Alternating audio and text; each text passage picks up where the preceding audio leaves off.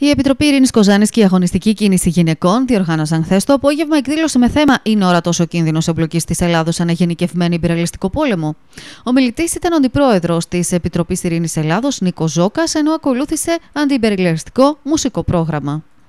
Ε, βλέπουμε όλοι ότι η όξυνση των αντιθέσεων μεταξύ των μεγάλων υπεραλιστικών δυνάμεων και στην ε, περιοχή και στον κόσμο ολόκληρο φέρνει όλο ένα και πιο κοντά ε,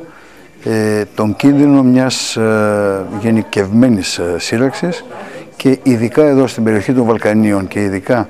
στο Αιγαίο, στη Θράκη, όπου συγκρούονται οι αστικές τάξεις της Ελλάδας και της Τουρκίας, αυτός ο κίνδυνος πια κουμπάει την χώρα μας πάρα πολύ ε, στενά.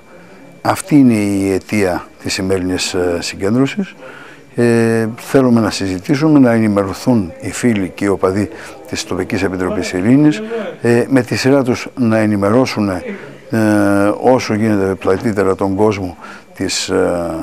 ε, τους εργαζόμενους της περιοχής, γιατί σε μια εμπλοκή τα παιδιά του λαού είναι αυτά που θα βρεθούν, θα καλεστούν να γίνουν τα κανόνια όπως λέμε για τα